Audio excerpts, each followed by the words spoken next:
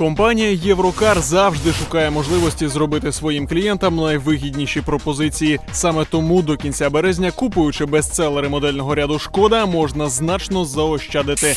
Найкраща пропозиція це звичайно Шкода Октавія.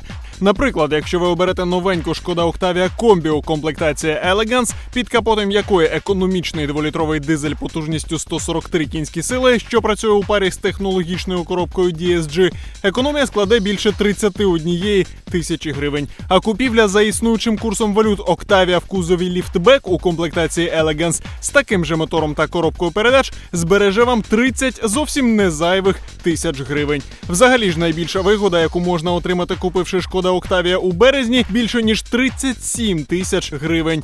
Зупинивши свій вибір на одночасно драйвових та економічних шкода Rapid або Spaceback, ви можете заощадити більше ніж 16 тисяч гривень. Зрозуміло, що їх технічні характеристики від цього не перестануть бути бездоганними. Також нагадаємо, що саме шкода Spaceback нещодавно отримала почесний титул автомобіль року в малому класі. Насправді розумна ціна, стильна зовнішність та досить багата комплектація забезпечують цьому компактному хетчбеку реальну перспективу стати бестселером у своєму ринковому сегменті. Проте варто поспішати, не боріться.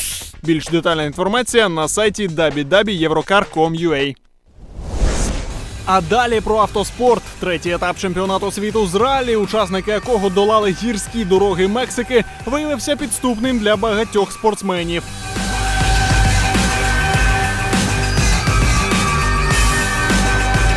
Для української команди Євроламп World Rally Team ці перегони стали справжнім мексиканським трилером. Як у гарному сценарії з самого початку не було приводів для хвилювання. Перші бойові кілометри екіпаж Валерій Горбань Володимир Корся проїхав рівно та стабільно, закінчивши день на п'ятій позиції у заліку WRC-2.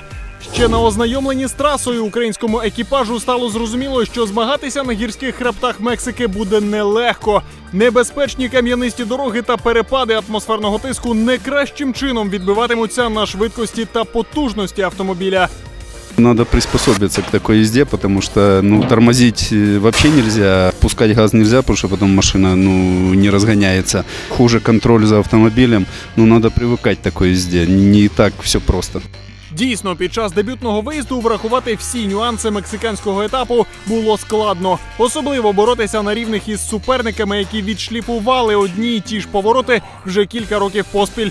Хоча, крім суперників, українським спортсменам довелося долати ще й низку невдач. Спочатку прокол колеса та відмова гідропідсилювача керма, так що другий день змагань відзначився втратою часу, що вмить відкинуло екіпаж на восьму позицію.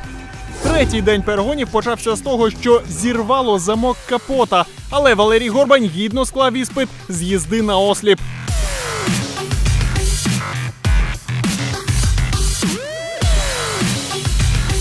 Пізніше, через помилку у керуванні, міні Купер опинився поза трасою, а екіпаж був змушений остаточно припинити боротьбу. И самое плохое то, что у нас э, на опоре согнута труба, и мы не можем ехать дальше, потому что она является каркасом безопасности. Нас не допускают ехать дальше. Ось таким виявився фінал мексиканського етапу. Але для команди Євроламп World Rally Team це тільки друга гонка у сезоні, тому боротьба за підсумковий п'єдестал триває.